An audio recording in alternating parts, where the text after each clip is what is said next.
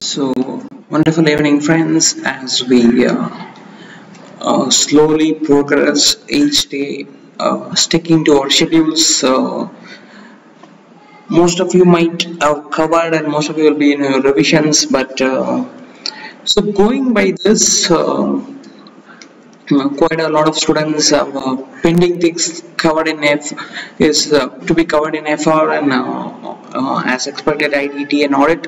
So what exactly you can do and uh, how to ensure uh, these things don't bother you. I thought you should follow these things. First one is do not let pending topics eat up too much of other subjects time for example uh, if you go by this uh, take for example DT you completed and but you plan DT revision tomorrow 3 to 7 p.m.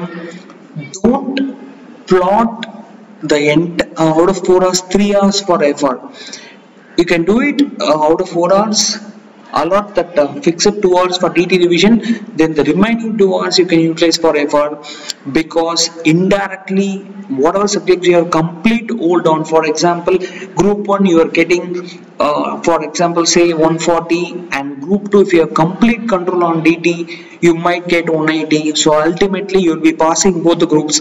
So don't let pending subjects eat up too much of other subjects time.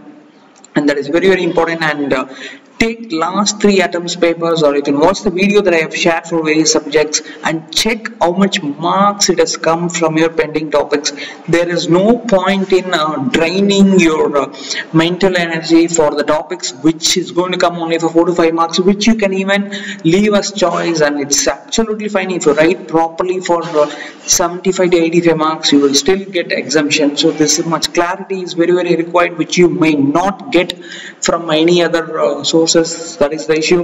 And try to revise more on the subjects you have covered very very well. That is all the more important. And don't try to change too many things in the last 20 days. Swapping here and there is fine but try to stick to the proper uh, study routine. That is important. And uh, another thing which you can very much do is talk to someone you you'll be having your own articleship colleagues or various other friends who might have completed the topic which you are pending with.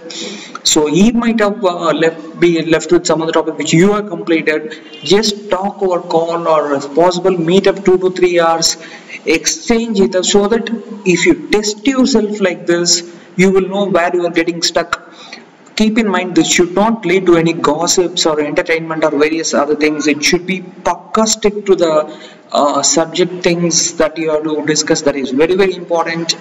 If uh, so if you do this at least both of you will be able to push each other and uh, do this up to October 20th not after that and avoid randomly start watching any videos uh, revolving your pending topics.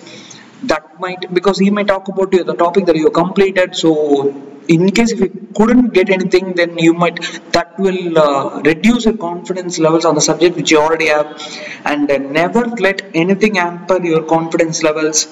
To put things simply uh, my group 2 I studied only uh, 12 to 15 days but I still cleared though I wanted to revise for two months. I was left only 15 days but I still I was able to cross the line. So these things happen things may not go according to the plan but if you keep focusing on the process if you keep uh, covering something every day consistently then uh, soon you will be a CA so focus on the process and uh, in case if you require anything do feel free to drop in the comments.